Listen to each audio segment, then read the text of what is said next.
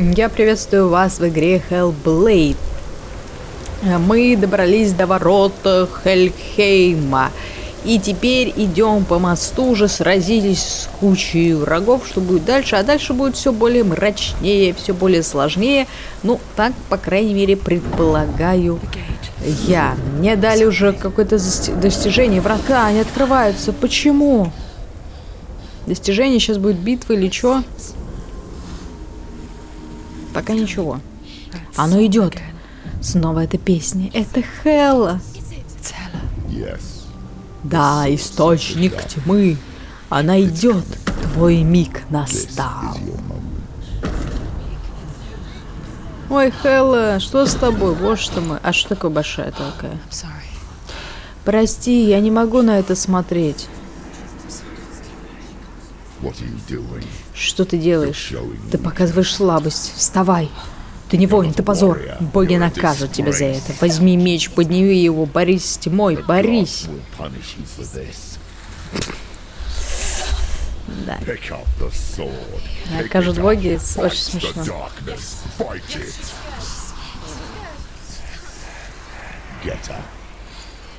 Ну, в смысле, вообще-то мы к ней пришли, э, к ней в дом, пришли договариваться. Зачем мне с ней сражаться?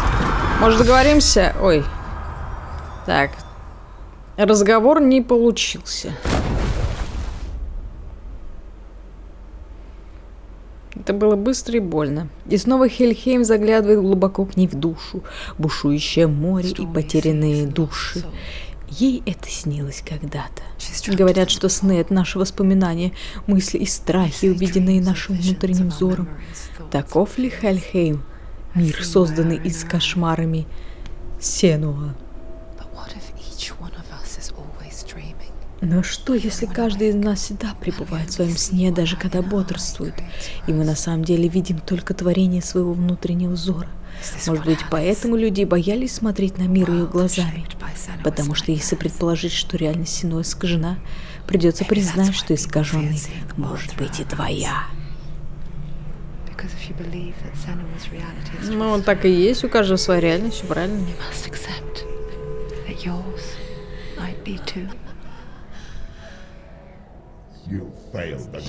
Ты подвела богов, ты жалкая, подлая, проклятая. Каких богов ты подвела? Чего несешь ты? И о чем ты только думала? И что правда думала, что сможешь победить? Какая же ты дура. Ее ненавидят все, она проклята. Вот этот последний голос, он какой-то ужасный. Посмотри на себя. Воин? Никчемная, слабая, жалкая. Давай пожалей себя еще больше, тебе ничего не остается ведь делать.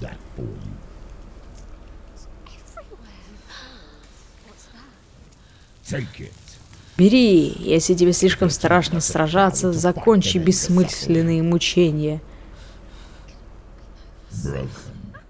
Разбитая, потерянная прямо как твой меч.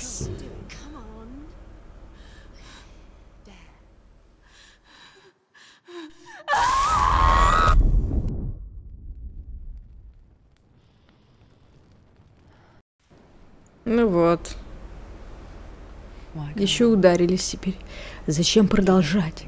Если ты отдашь все и идешь навстречу тому, что терзает тебя, только чтобы узнать, что все гораздо хуже, чем представлялось, зачем продолжать? Так, ну рана вроде зажила, хорошо. Такой вопрос. Проявление слабости? Или мы просто боимся так честного ответа, что не смеем задать вопрос? Иногда ответ скрывается в памяти, чувстве, песне. Она жива. Что за звук? Это песня. Ну, мне чуть не понравилось, как Хель здесь изобразили. Ну ладно. Мы прижгли ран-то, что-то нет, по-моему. Сианова, посмотри на меня. Не сдавайся, не сейчас. Так, у меня тут два голоса уже. Один не очень приятный, а второй э, друт, но он тоже какой-то непонятный. Ты веришь с ней, Сенуа? Ты веришь в нас?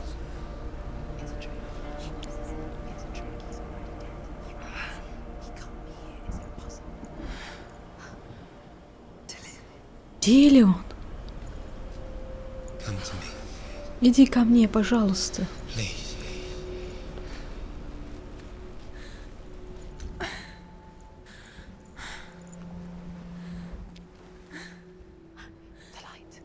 Вот он, иди к свету, это он. Нет, это изображение всего лишь э, твое воображение. Нет, это... Нет, подойди. Так. Опять у нас поднимается, по-моему, гниль, хотя в этот раз э, у нас даже не было сражения. То есть, э, видимо, такая суть, что до конца игры мы все равно будем наполовину вот такими, как бы,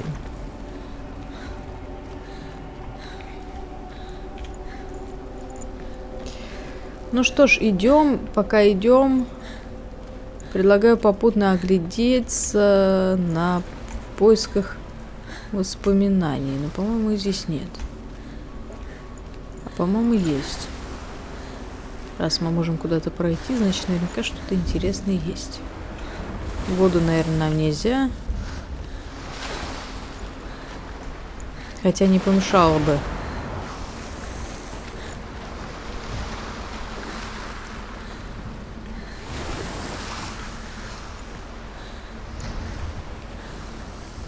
Так, мы ранены. Здесь нет воспоминаний никаких. Нельзя забраться туда. Он пропал, ты слишком медлишь. Ты мы же говорили, это обман. Блин, что, я опять проиграл? Да елки-палки, я просто путешествую. Так, ржут надо мной. Ты куда идешь-то, господи? Слепая, что ли? Может, тебе сказали на огонечек идти?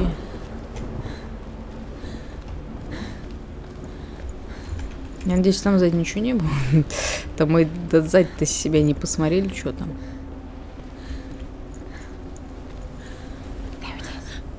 Это не он. Иди к нему. Это, Ди, это Дилион. Быстрее шевели жопы. Он исчезает. Все, он исчез. Давай, давай, шевели булками. Как могу, так шевелю. Хватит уже.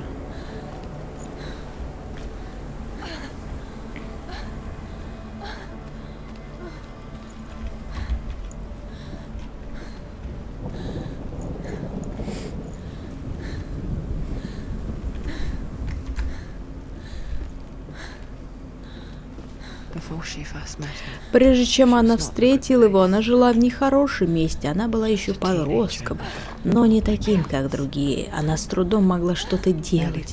Редко выходила из дома. За этим следил ее отец, Зинбель. Лишь изредка она выбиралась на свободу сама, собирала хворост и травы. Вот чем живут на равнинах Оркни.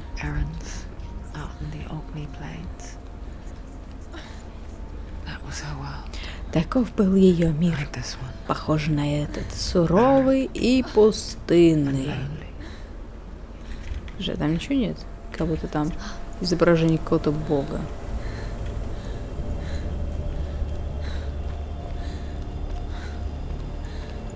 Да не может быть, по-любому здесь есть какое-нибудь воспоминание. Если ты его не найдешь, ты все просрешь.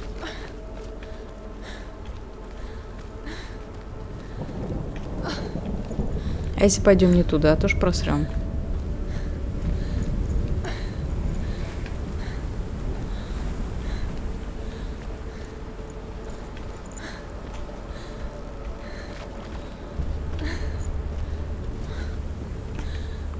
Так, ну здесь явно ничего, здесь просто красиво. А там в пещере дальше что? Вон домик какой-то.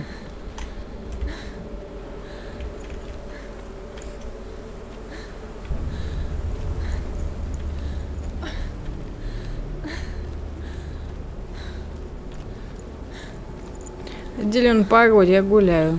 Погоди, погоди. Вон он, видишь, стоит. Седова, я тебя жду. Мамку нашли.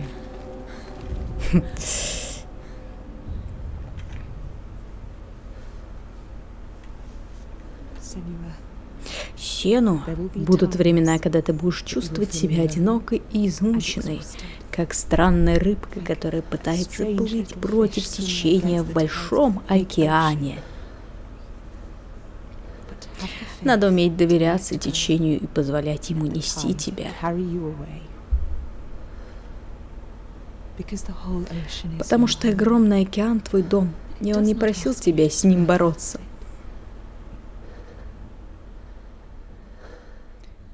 Ну, а прости, но мать, мамка у тебя стрёмная. Я ее боюсь лично.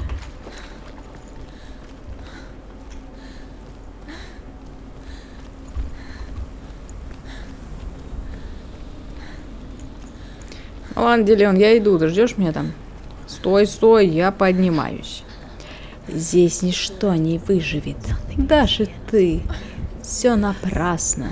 А здесь не должно быть живых.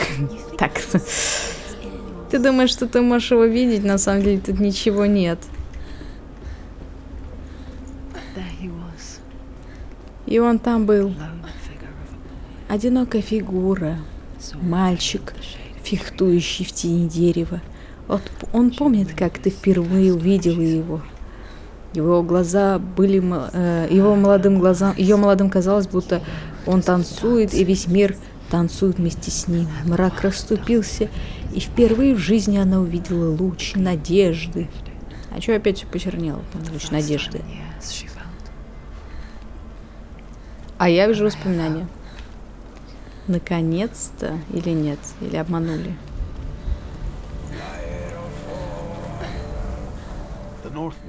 Северяне рассказывают о великом герое по имени Сигмунд. Зала его э, отца была построена вокруг большого дерева, и однажды Один явился туда и вонзил в дерево меч. Ой, Многие пытались сделать это, но только Сигмунд без усилий вынул меч. Король Сигейр, Шурин Сигмунда, хотел заполучить его, но Сигмунд ему отказал, поэтому король Сигейр задумал отомстить его. Он пригласил Сигмунда и его братьев на праздник, но когда они пришли, их э, встретили не радушные хозяева, а целая армия. Король Сигейр схватил Сигмунда и его братьев, украл железный меч и велел всех казнить.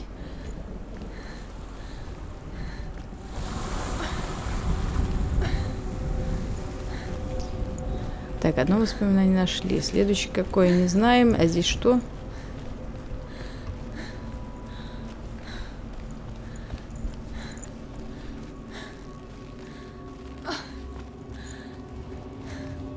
Куда-то забрели. Опять раньше времени. Или не раньше. Да огромные такие коридоры тут.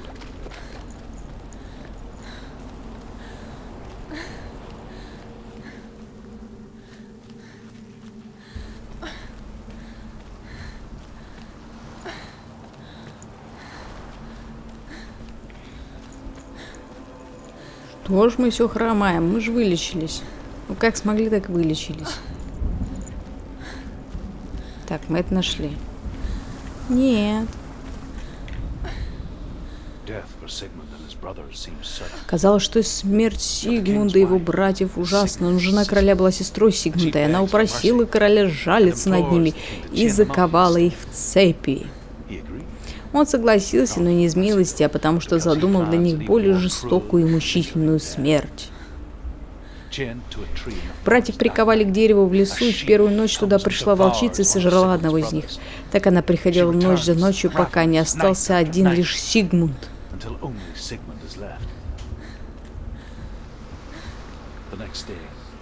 На следующий день сестра, сестра Сигмунда отправилась к Сигмунду слугу и дала ему особый мед, велев намазать им лицом Сигмунда. Но зачем? Итак, ночью волчица пришла, но ты ни за что не догадаешься, что случилось дальше. А дальше, чтобы догадаться, мы должны здесь походить и найти еще воспоминания. Так, какой там следующий должен быть? Ре-ре. Дальше еще потом. А что все одно и то, что повторяется? Рун повторяется. в любом случае нам никак не поможет, поэтому ассетс только искать.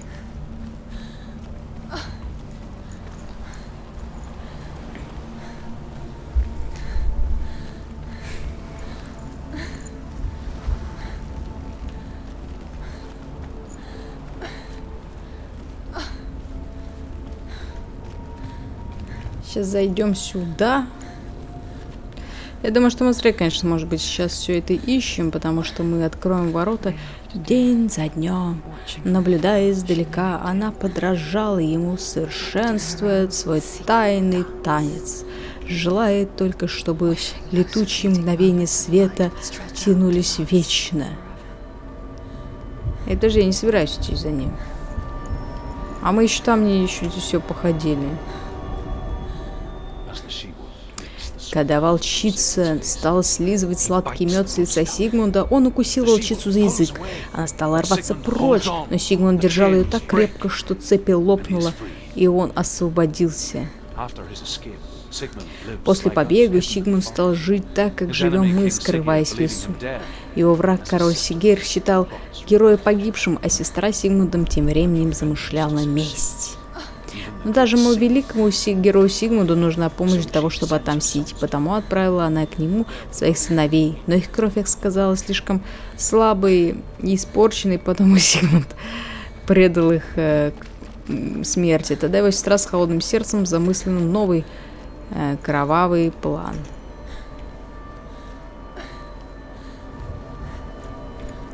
Новый кровавый план мы здесь вряд ли сможем сейчас пройти, либо наоборот, мы сейчас здесь еще должны найти, а потом идти туда. Короче, давай здесь походим, посмотрим, что мы пропустили или нет.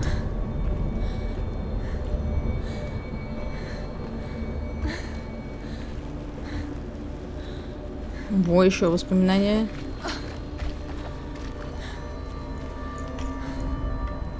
Sigmund's sister Сестра Сигмунда поменялась обликом с колдуньи и тайно возлегла с собственным братом. Она родила сына и назвала его Син Фью Фьотли. Когда мальчик подрос, она отправила его в лес к Сигмунду. Сигмунда испытал мальчика, и он оказался сильным и бесстрашным. И тогда вместе они отправились мстить королю Сигеру. Уже половину нашли.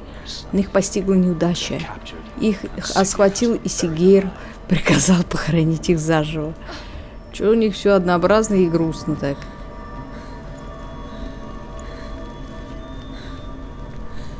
Да, здесь мы должны следующий ворот открыть, но чтобы их открыть, мы должны, наверное, предыдущий путь пройти и так далее. Здесь все закрыто. Здесь нам нас торкнуло назад, то есть в Хель мы еще не попадем. Хорошо, тогда спустимся вниз. Так, голоса сменили, сменил звон в ушах. Я уж к ним привыкла. Мы так мило общались, куда они делись-то?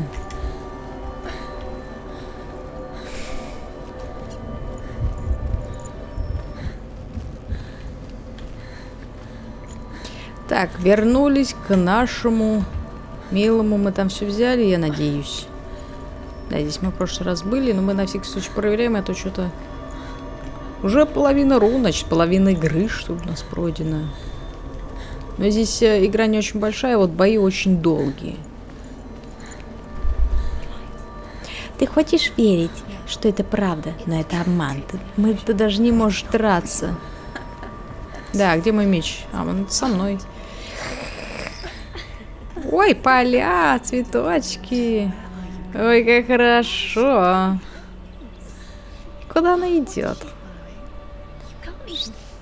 Это мы вернулись в воспоминания, где... Как может он так легко ладить с миром с таким блаженством? Если бы только она могла так же видеть мир новыми глазами и танцевать с миром, как танцует он. Вот так и оставь. Тебе на пользу пойдет Сенова. Хотя чересчур слишком светло. Как-то даже странно. Так, ну ладно, это сейчас все закончится, сейчас все превратится в кровище, в лед, в огонь, мы это все знаем, все проходили. Вроде здесь ничего нет, никаких секретов. Ну где по деревам-то мужик, я не пойму. Все, и хочется уже посмотреть что-нибудь. Она забыла просто, как он выглядит, представляешь?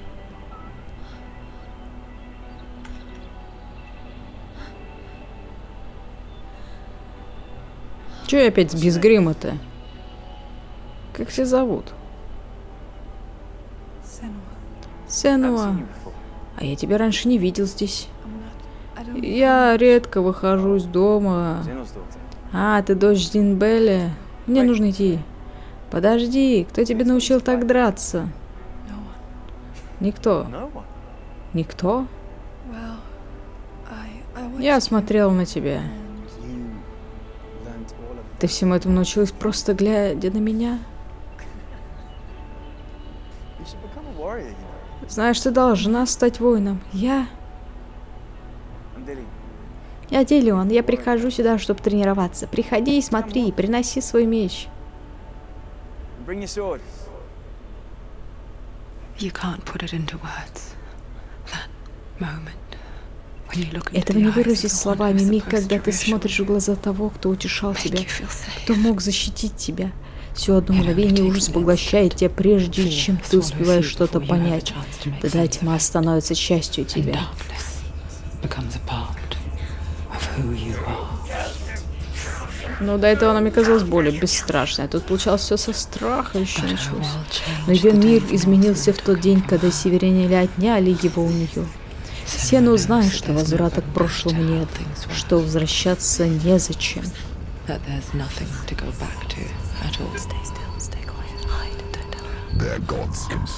Боги зря твой разум. Они используют свои силы, чтобы раздавить тебя. Они меня не остановят, я до сих пор его чувствую. Даже если от него что-то осталось, они ни за что его не отпустят. Я не брошу его гнить здесь. Да ты сама гниешь. Оставь меня. Ты умрешь здесь, все твои страдания впустую. А ну заткнись. Хорошо.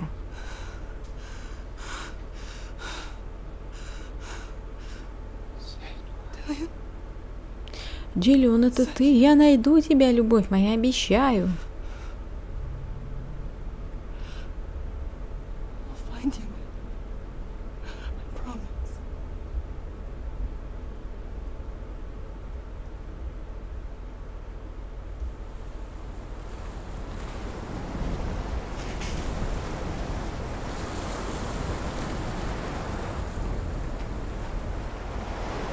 Так, мы все на том же месте. Ты не выживешь. Она встретила его у дерева. Может, это знак? Это Диллион? Да ничего здесь нет. Ты не выживешь. Слушай, а вот там воспоминания, вот здесь воспоминания. Ой, подожди, а здесь куда дели? Эй, я видел. Верни мне воспоминания быстрее, пиздюк. Куда дели? Ну, был, правда, слушай, был, было воспоминание. Украли. Представляешь? Как это?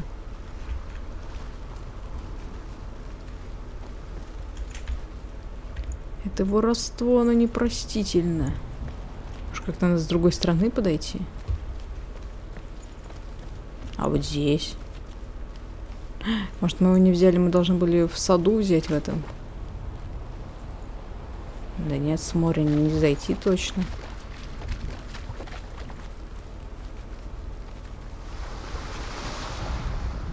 Да вроде по порядку идут.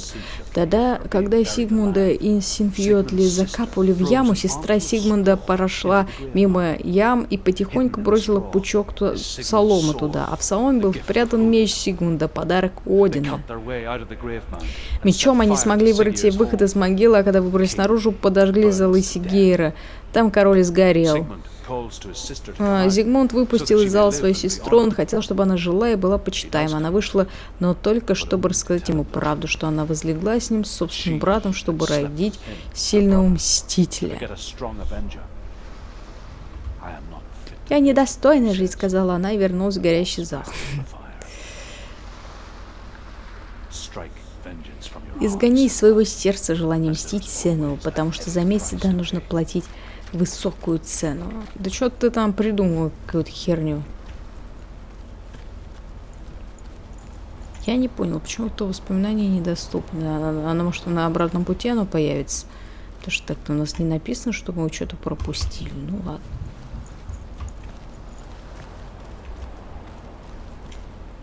Обратный путь будет? Здесь тоже. Или может здесь... Ну да, здесь, наверное, будет что-то другое. Ну ладно. Ну, конечно, да, неинтересно будет, если мы все соберем.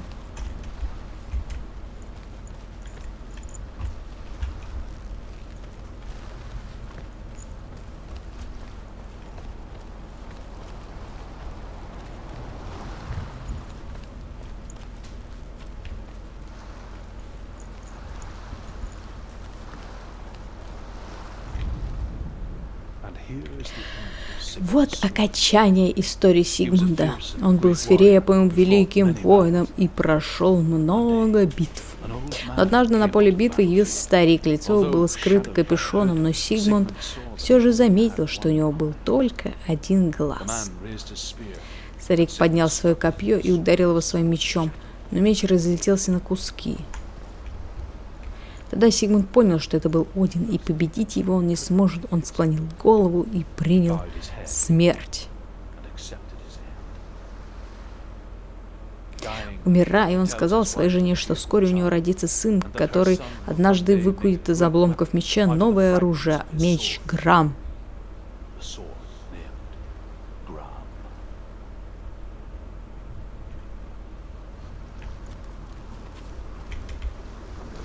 Так, можно так подняться, можно так подняться, или как? Или это все одно и то же?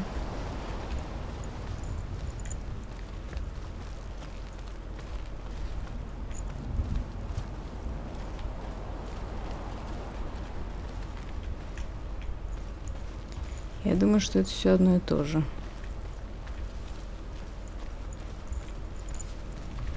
Ладно. Заходим в древо.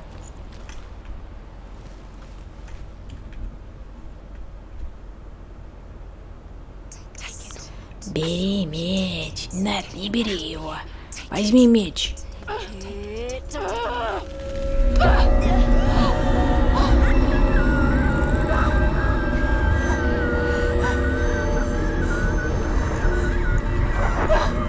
Так, ну как кто там кричит? Потише, больно.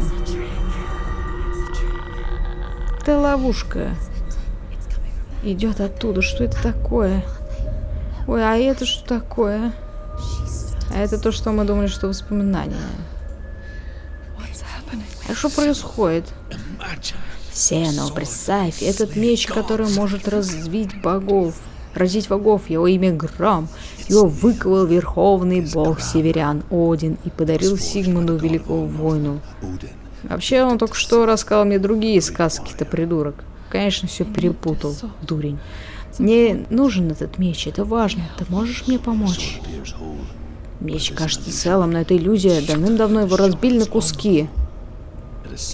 Говорят, что великий воин может перековать грамм. Его сначала выдержит испытание Одина. Одно испытание за один обломок меча. Корни древа смерти перенесут тебя в новые земли, где тебя ждут испытания. Видимо, здесь нам нужно стоит э, иди к обломкам. Э, нужно собирать обломки, и после этого соберется меч. Я с той стороны не могу даже спуститься. Отправляю так. А если я хочу с тобой? Вот еще там. Да вы что, офигели, что ли? Сколько обломков-то? Четыре минимум.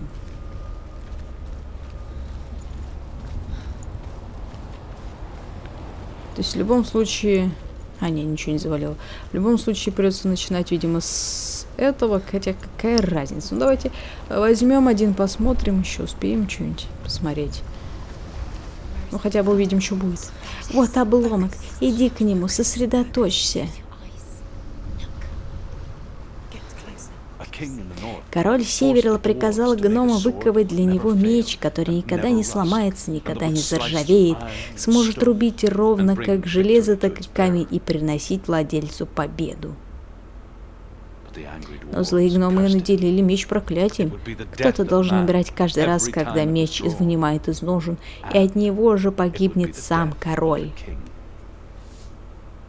Слушай, расскажу тебе историю о мече по имени Тюрфинг.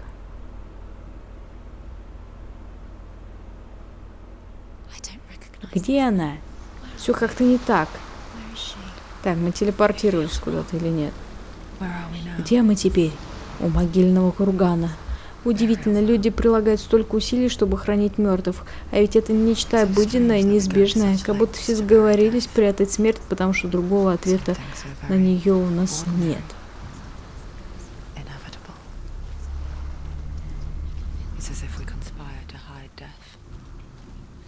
To нет. А здесь зато есть еще одно воспоминание. Ух ты, сделали какие здесь прям путешествия.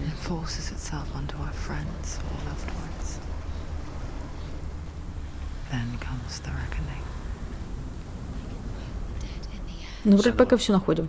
Сенуа, ты напоминаешь мне историю, которую рассказывают северяне о деве-воительнице. Хервор была дочерью Берсерка. Она родилась уже после смерти отца. Она была диким, своенравным ребенком и сама научилась владеть оружием. Когда она узнала, где похоронен ее отец, главным желанием девушки стало получить похороненное вместе с ним сокровище, а прежде всего меч Тюрфинг. Меч, то есть мы должны еще 4 меча или 5 мечей собрать, офигеть. 5 мечей это будет четверть, и потом, видимо, все-таки в Хелт э, пройдем. Э, давайте дойдем до автосохранения. А то нас так все активно отнимают. Потому что сохранения нет, игра, в принципе, не очень большая.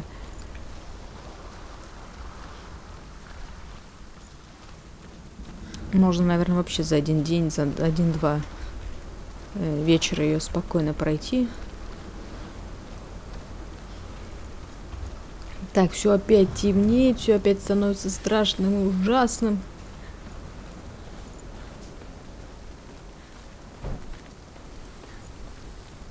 Интересно, эти руны вообще нужно собирать? Погодь, погодь, я еще здесь похожу. И ничего нет.